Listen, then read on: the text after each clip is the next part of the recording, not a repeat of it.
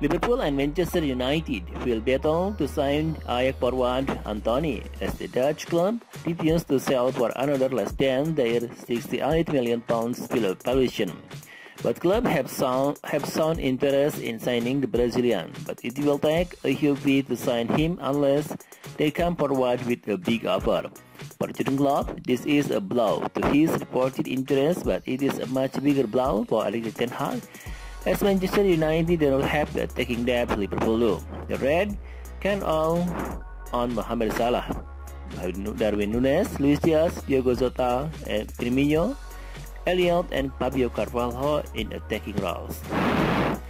The rival Manchester United, however, have Marcus Rashford, Jadon Sancho, Anthony Martial, Anthony Elanga, and while Cristiano Ronaldo remain a United forward.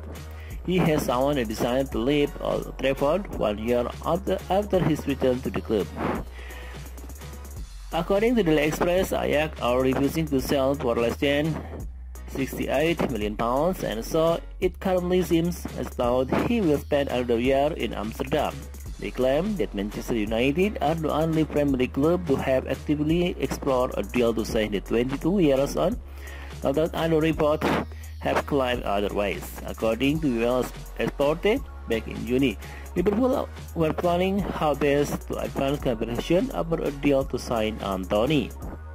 More recently, Liverpool made approach to Ajax but are, are willing to meet their high asking price.